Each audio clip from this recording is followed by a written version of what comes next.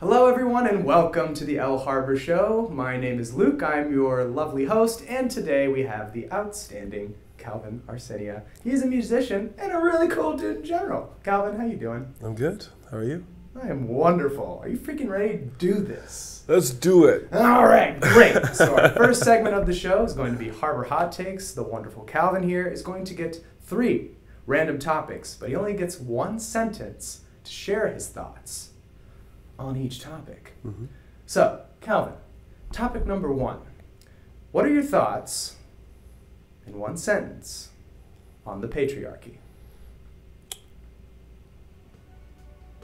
I believe that the patriarchy is a system that was designed to keep people in order. That it's not inherently bad, but that it could use some work.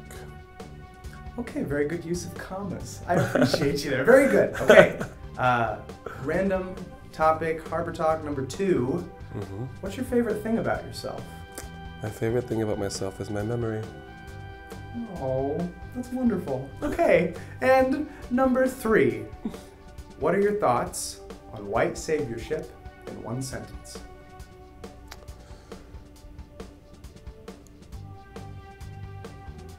White saviorship.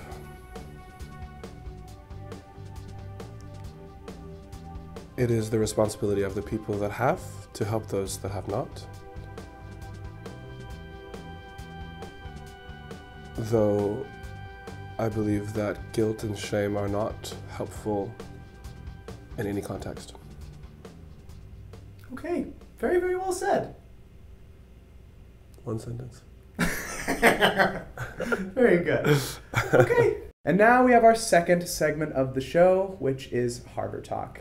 Mr. Calvin and here and I have three topics that we're going to talk about within a nine minute time span. We can take as long as or as short as we want to for all those three topics. How's that sound, Calvin? Sounds good? Sweet. In that case, I'm going to start the iPhone timer in three, two, one, begin. So, Calvin, the first thing that I really want to talk about with you, and this is something that you actually wanted to talk about today, was following your dreams. Mhm. Now, in your opinion, why do you think that topic is taboo? I think that it is seen as being irresponsible for people who do follow their dreams, at least in the early days of that. And it can be seen as being um, like lazy or, um, yeah, like you're using resources improperly. You're begging people to help you without having already accomplished your track record to show that you know what you're doing or had enough time to develop the thing that you're doing, not enough time to make mistakes. And so at the beginning stages of following your dream, it can look like like um, childish, you know? Hmm. And by following it and being childish, do you mean that you have a certain quality that you're not attaining, or you're saying you're making a lot of mistakes, so that can be scary, or how would you articulate that personally? Well, personally? you in the in the business industry, it's not expected for a, a new company to make a profit within the first year, at least not a substantial one. That you'll maybe get all of your, your your expenses covered, but as far as making like a big profit in a first like startup company, it should be expected that you wouldn't make that in the first year. So you have investors and stuff, and I think the same is true about about um, about artists who are working in the industry. They're starting a, a company that is themselves, and and so if you're following your dreams, like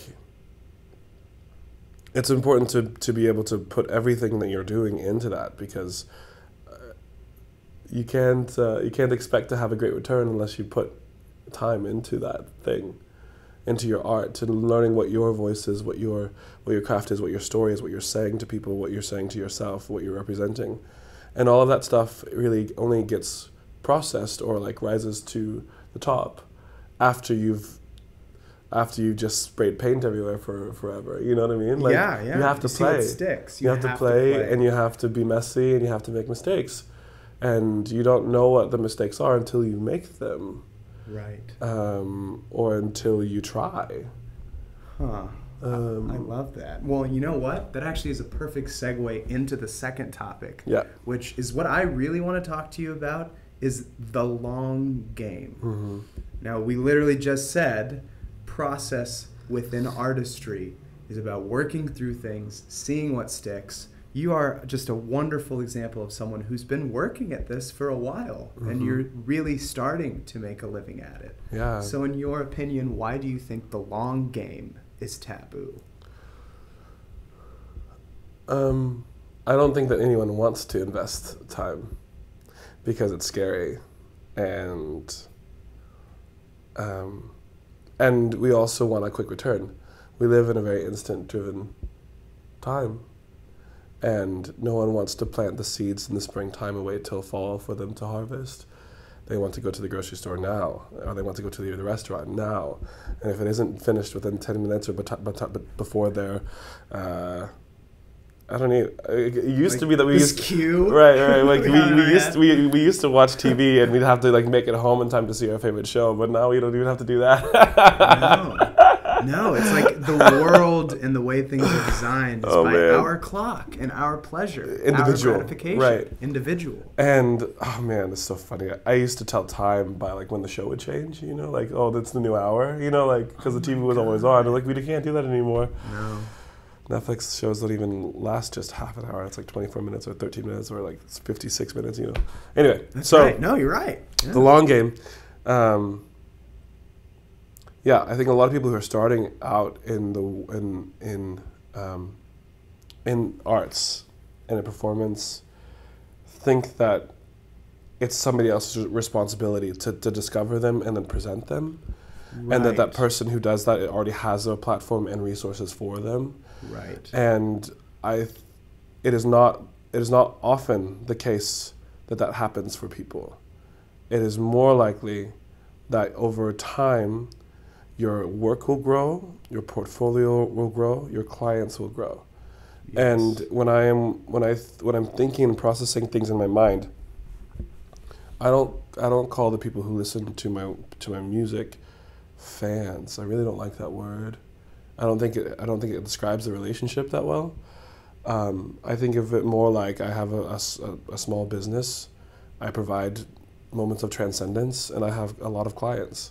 Mhm. And it's my responsibility to to be that and to serve and give them what I promised I would give them.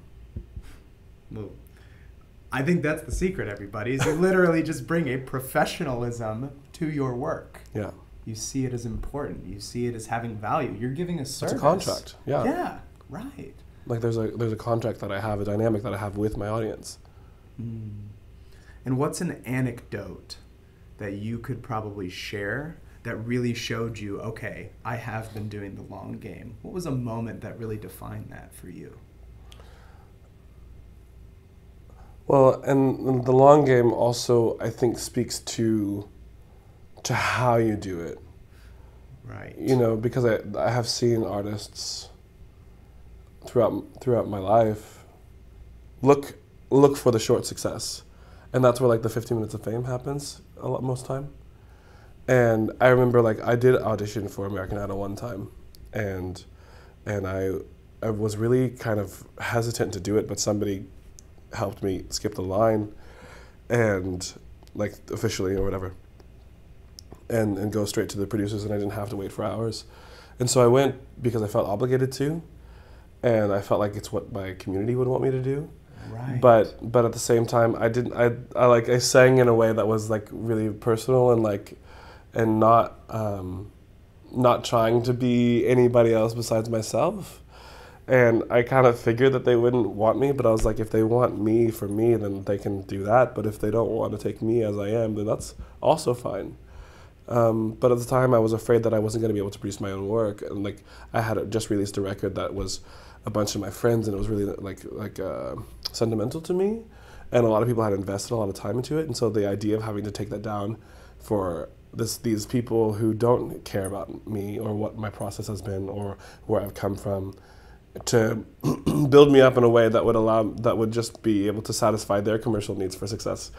And just felt really really slimy and so I didn't I didn't want to do that but also I was a little at that time sick of playing in coffee shops and having to fight over espresso machines and lines of people ordering their lattes and and I felt like that wasn't uh, providing the space to value my work, or or at least not in the way that I wanted to present it in the way that I valued it.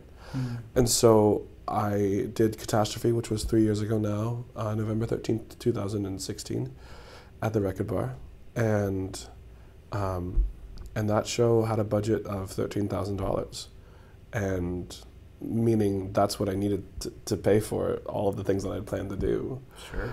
and I've been investing in paying. I mean, like a lot of the shows that I've done in Kansas City that were that are bigger, or like you see the beautiful pictures. Like I paid for the photographers, and I've paid for costuming, and I've had a lot of handouts, and a lot of people that have helped me and given given up their time for free. A lot of people have invested in those things, and I never made really any money out of that, like any of those. And I would do other gigs, side gigs. I played at senior centers, and I taught kids so that I could pay for those shows Of course. because I wanted to be a performance artist and I wanted to present my work in this way. And I have a lot of artists around me that help me. And there are a lot of really, really great friends that are so skilled in what they do. And um, and so the long game looks like doing, following your dream, um, no, and, and, and sticking to sticking to the thing that you said that you would do. Very good. And just some last thoughts about Yeah. the last topic we Yeah. have is drugs within the music industry. Yeah. Why do you think that might be taboo for people to talk about? Um, I don't think that the general public wants to take responsibility to what they do to not only artists but also to the working class. Hmm. yeah. Um, the demands that being a professional in today's society ask for, especially in America, the expectations are completely unreasonable. And I mean, even even the coffee industry is technically a drug. I mean, caffeine is, you know. Yeah. You're And- not wrong. And so, like every office is, is, is outfitted with, with every kind of espresso or coffee product you can find. yeah. People are encouraged to drink it. They're expected to drink it, um, to partake, Mhm. and then that goes into you know into cocaine or, or Adderall or other Yeah. things, stimulants. A stimulant, yeah, to keep you going. to keep you working. Right. And so there there is the balance. that's- balance is not is not is not the culture of of work in Mm-mm. America. Mm-mm. It's very. It's about being hungry for the next product here, Right. and it's like, but don't you like the product you have now? it's, it's balance is a very fine line. Right. In many industries. There is no like health is not a priority in, in general. Some there are some companies out there now that are that are really really really good about that about making happy people that creates a happy work environment. But I would say in general um, that just like the office environment that, that the music industry is the same and that there are high demands for people who are creative to be here do that and say this and say that or wear this wear that and and there's only so many hours in the day. And and so if you have to work for 40 hours straight to get things done because you're on to this next thing within this time then it like what other choice do you have besides to use drugs you know?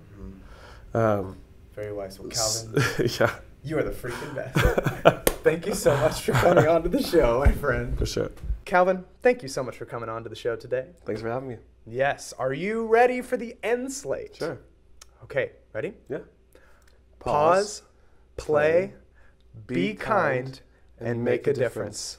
We'll see you guys soon.